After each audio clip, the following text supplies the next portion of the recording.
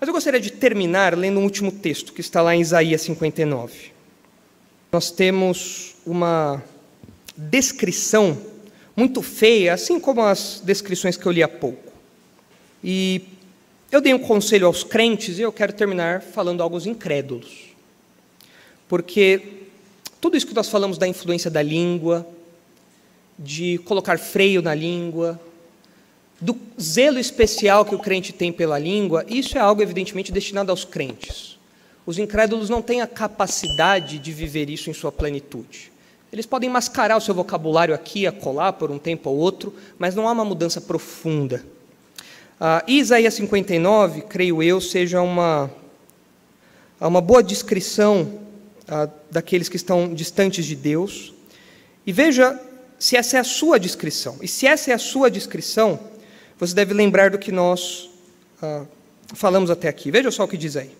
Isaías 59. Eis que a mão do Senhor não está encolhida para que não possa salvar, nem surdo o seu ouvido para não poder ouvir. Mas as vossas iniquidades fazem separação entre vós e o vosso Deus, e os vossos pecados encobrem o seu rosto de vós para que não vos ouça. Porque as vossas mãos estão contaminadas de sangue, e os vossos dedos de iniquidade, os vossos lábios falam mentiras, e a vossa língua profere maldade. Ninguém há que clame pela justiça, ninguém que compareça em juízo pela verdade. Confiam no que é nulo e andam falando mentiras. Concebem o mal e dão à luz a iniquidade. E a descrição feia continua. O que eu quero dizer para você, se você ainda não é um crente, é que essa descrição aqui, ao lado daquelas outras que eu li, te coloca numa posição terrível porque além de fazer um mau uso das palavras, o texto fala que uh, essa separação que há entre você e Deus, esse pecado que há entre você e Deus, faz com que Ele não te ouça. Você fala e o Senhor não te ouve, porque você está distante dele. E você fala o quê? O texto diz: você fala mentiras, você fala iniquidades. Essa é a sua vida, essa é a sua descrição.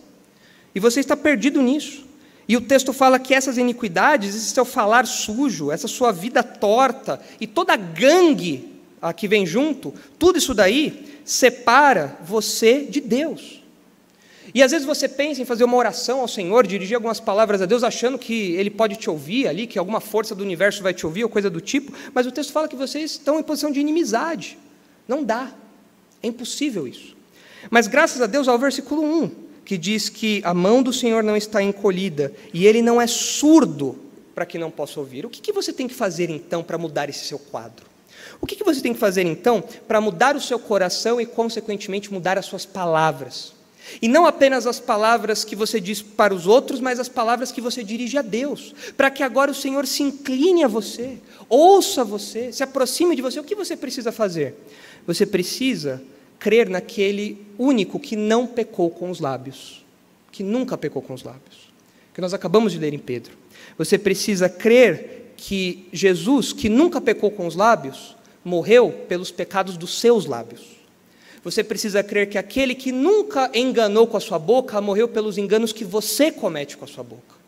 Você precisa crer que aquele que nunca falou uma palavra suja morreu por todas as palavras sujas que você falou, morreu pela culpa que essas palavras trouxeram para você. E quando você crê nisso e fala, Senhor, eu creio, eu creio no Cordeiro perfeito, eu creio em Jesus Cristo, eu creio naquele que nunca pecou, que morreu para me salvar. Quando você crê nisso, então o Senhor ouve a sua oração, muda o seu coração, e agora tudo seu é diferente.